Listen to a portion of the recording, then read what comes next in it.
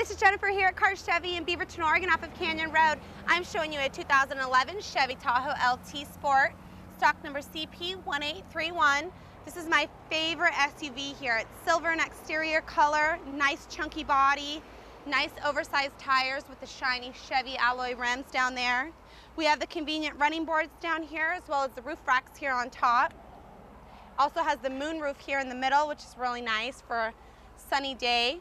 We have the privacy glass that wraps all the way around. It is a flex fuel SUV, which is really nice. My favorite feature also is the pop-up button glass. Just pop that glass open, put your shopping bags in there. It also has the third row, as you can see, and it flips up so you can have room for extra storage, your stroller, everything back there. Coming around here to the back, it has tan leather interior. Also has the DVD system up there for the kiddos and everyone traveling in the vehicle. Also has the controls in the center there for everyone in the back seat, as well as rear air controls. It is a keyless entry vehicle. It also has automatic windows and door locks, has the wood paneling here on the side, has heated seats as well as Bluetooth here on your steering wheel, your cruise control settings, as well as your stereo settings.